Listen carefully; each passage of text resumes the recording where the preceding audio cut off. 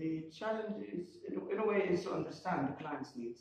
And that's what we do, is just we try to understand his needs and we cater exactly for what he wants.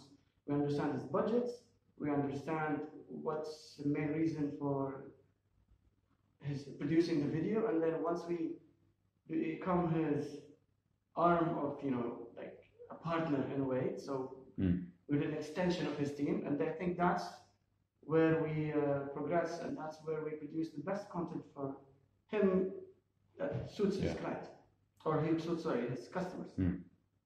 So in that way, you, you offer a proper kind of tailored solution, and you actually become an extension of their their company and their requirements. True, because the way we see ourselves is that we're more of a creative Mm. content producers, not just Yeah. you know your typical producers. Because uh, that way, when you are someone that they can depend on and as a creative arm, then yes, that's the best way to go about it.